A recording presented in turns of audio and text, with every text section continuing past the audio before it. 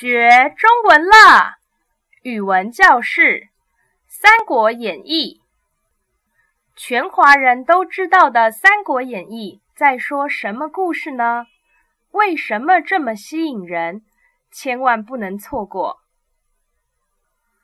西元一八四年，东汉末年，皇帝无能，国家大乱，百姓生活痛苦。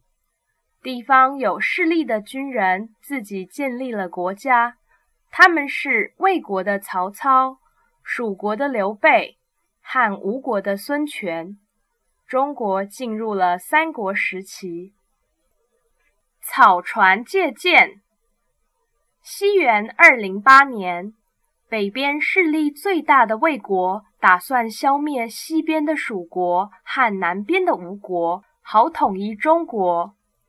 但是蜀国和吴国不甘示弱，联合起来对抗魏国。诸葛亮是蜀国的军师，他非常聪明。周瑜是吴国的大将，他很嫉妒诸葛亮的才华，想尽办法要除掉他。于是周瑜借口对抗魏国需要大量的箭。要诸葛亮在十天内做好十万支箭，如果没完成，就要砍头。十天做十万支箭根本不可能。周瑜是故意为难诸葛亮，想借机杀掉他。但是诸葛亮不但没拒绝，还说只要三天就能做好十万支箭。第一天和第二天，诸葛亮完全没动静。旁边的人都很为他着急，但是诸葛亮却从容自在。第二天的晚上起了大雾，诸葛亮终于行动了。他带着士兵，驾着二十几艘小船，往魏国出发。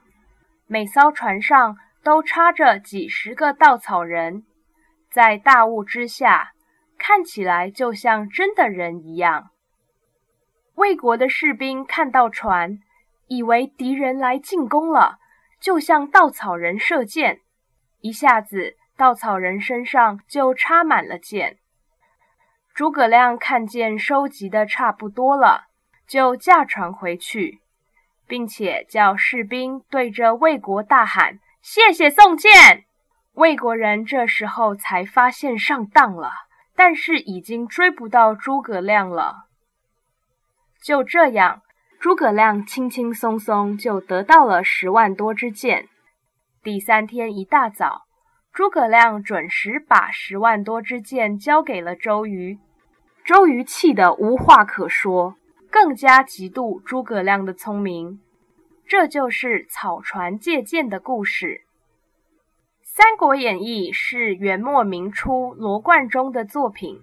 是中国第一部长篇历史小说，描述三国时期三国间互相竞争的故事。有些按照历史，有些是罗贯中自己编的。